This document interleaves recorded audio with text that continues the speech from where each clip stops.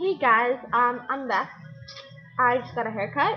It's pink and got it relayered and new bangs. They're not in my face. I have to clip it constantly. Um, but I have a short little lush haul. I went recently with my mom and she got me some stuff because she's awesome. This was around Valentine's Day. Um, so I did get only I only got one Valentine's Day product and it was the Love Soap because I thought this smelled so good. It smells so fresh and kind of like vanilla, but with like lemongrass. It's a weird smell, but I really like it. Um, the Love Soap was only 4.95 per 100 grams. It's really good because it's like the cheapest blush soap has ever been I've seen. And I've been blush for like a year and. I got the girl at the store were like me and her like types. I mean, there's so much. So she gave me like a pretty big samples. I've been using this for two weeks, so it was like maybe a little bit bigger than this.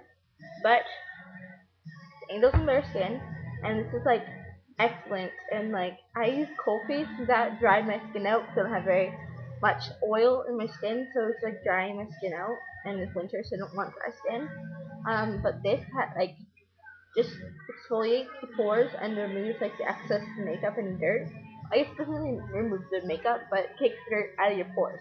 And it smells kind of weird, but oh, it's funny. But yeah, you only use like a baby, like a pea size amount. Um, I got a color supplement in light yellow, and I'm really pale, so it takes a while to get the consistency, and the color I need.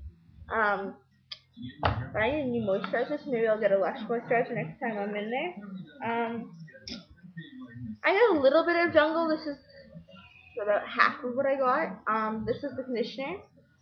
This just smells amazing.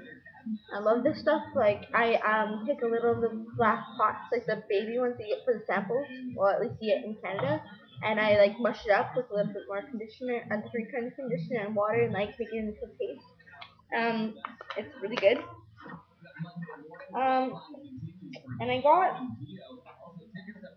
a little sample of Honey Wash Kids, like a little sample. It has stuff all over it, but um, I've been using this.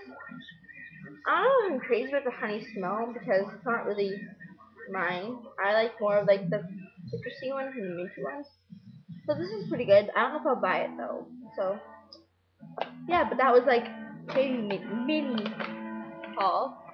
Um, but I'll be back with more because probably more Lush hauls because Lush is awesome. You should definitely try it. Um, if this is still in your stores, get it because it's only Valentine's Day, and I don't know if my store has it still. I hope it does because then I can get more. But yeah, so it's good. So yeah, yeah.